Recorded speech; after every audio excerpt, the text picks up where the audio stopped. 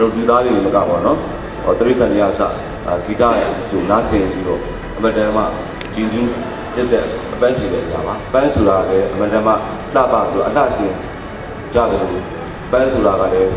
လူတွေရဲ့နှလုံးသားဖန်သားတဲ့ညာပါဒါကြောင့်နှလုံးသားရဲ့ဂီတပန်းလို့အမည်ပေးထားတဲ့မြန်မာလန် PCB အဖြစ်ဖြစ်ပါတယ်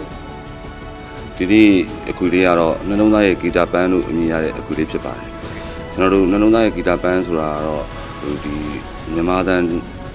ဒီချင်းအစ်စ်လေးပေါ့နော်အစ်စ်တွေပဲဟိုဘဘဆန်းရ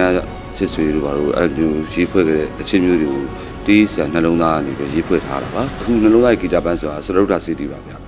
အဲဒီဒီမှာကျတော့ကျွန်တော်မြန်မာတန်တီးတန်ရှင်တွေတယောက်တစ်ပုတ်တီးဆိုထားတဲ့အခွေဖြစ်ပါတယ်ဗျဒါပြီးလို့ရှိရင်နောက်ထပ်အာငါးခွေထွက်ဖို့ရှိပါသေးတယ်ဗျကျွန်တော်တို့ဒီဇင်ဘာ၁ရက်နေ့တော့အခွေထွက်စပြီးထွက်ပါမယ်ခင်ဗျအဲဒီ first week ထဲမှာပဲကျွန်တော်တို့ clearance center မှာ promotion လုပ်ဖို့စီစဉ်ထားပါတယ်နောက်မန္တလေးမှာလည်း promotion လုပ်ဖို့စီစဉ်ထားပါတယ်ဒီကရဲ့မြန်မာပြည်ကြောင့်ဒါမှမဟုတ်လည်းဒီပါလီမီတို့ ဘယ်လိုလဲဒါမှရှိတယ် national အကြောင်းလဲပါတယ်စုံပါပဲဟုတ်ကဲ့ပါအကြောင်းအရာတော့တော်တော်စုံသွားတာပဲအဲစုံသွားတော့ဘယ်လိုမျိုးခွဲထုတ်မလဲတော့မပြောတော့ဘူးဆက်လက်ဖို့ဆိုပြီးစုံနေတာပါ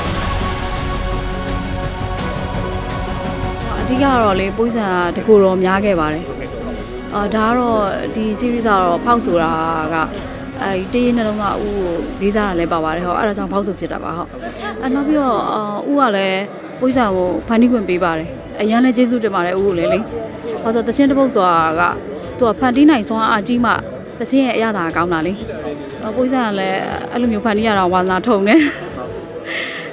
အရန်ကြိုးစားထားပါတယ်လို့အာအားပေးပါလို့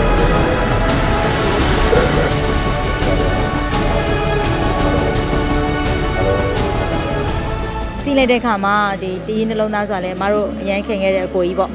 အဲသူရေးထားတာဆိုတော့အချင်းလေးကလည်းရတာမြောက်နေတယ်ဆိုတော့နောက်ကိုပိုင်တန်စင်လေးလည်းဖြစ်တယ်ပေါ့နော်